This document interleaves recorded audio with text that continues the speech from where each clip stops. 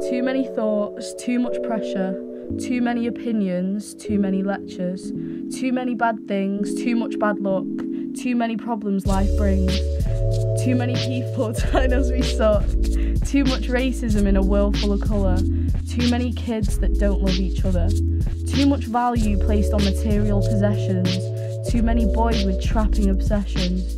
Too much of everything bad and not enough of things good. Too many children that won't ever make it out of the hood. Too much temptation, but we gotta be strong and try not to give in. Too many distractions, but God will forgive us for our sins.